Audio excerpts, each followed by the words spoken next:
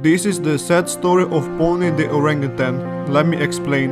As a baby, she was stolen from her mom in a village named Borneo, Indonesia. Pony was taken to a brothel where she was chained up and forced to perform sexual acts. The man shaved her entire body every two days, put makeup on, and sprayed her with a perfume. She was kept as a prostitute. This was going for about one year until in February 2003 when 35 armed policemen luckily rescued her. Today Pony is 21 years old and she lives in an island enclosure in Nyaru Menteng Rehabilitation Center with 7 other orangutans.